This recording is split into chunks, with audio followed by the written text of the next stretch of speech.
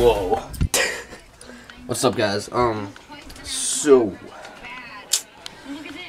it's kind of early in the morning. I'm usually not up this early. I've been up since 5:30.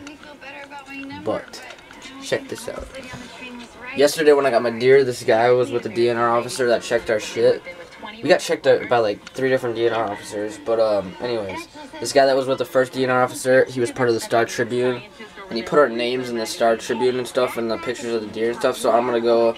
I'm gonna start up my motorized skateboard, ride it up to the office, and get a newspaper. And then, yeah, that's what's up right now. How do I look, guys? Do I look freaking tired? I'm dehydrated, that's for sure. Anyways, here we go. Well, that's depressing as fuck.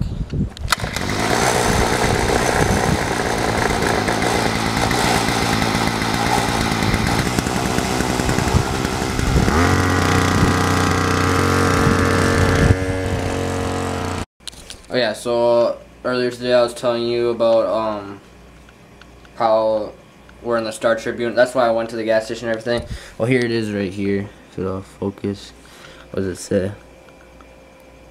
Meanwhile, Grew checked several hunters who begged deer Saturday, including your boy, 18-year-old Patrick Fabel of Swartzville, Minnesota, who was hunting with his dad.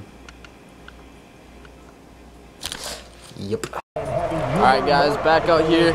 Gonna get a late start to this hunting trip, but that's okay because we were exhausted as hell yesterday. So yeah, we're gonna get we're gonna get more deer today, alright? Alright, let's do it. A big ass track, my friends.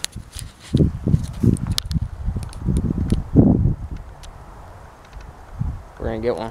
Just got done with the doing a drive and uh oh I was so tiring. I'm so tired right now.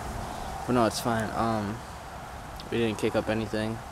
So now we're gonna chill here. Well, I'm here. My brother is way down there.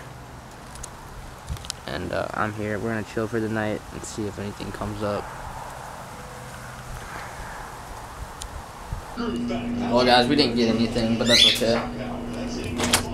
Boom!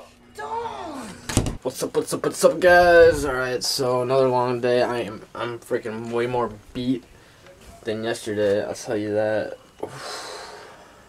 Like, I am tired. So I, I need to sleep right now. And, uh, yeah. Hope you guys had a good day. Stay tuned to the next vlog, as always. Hope you enjoyed this vlog. Love you guys. Stay awesome. Peace.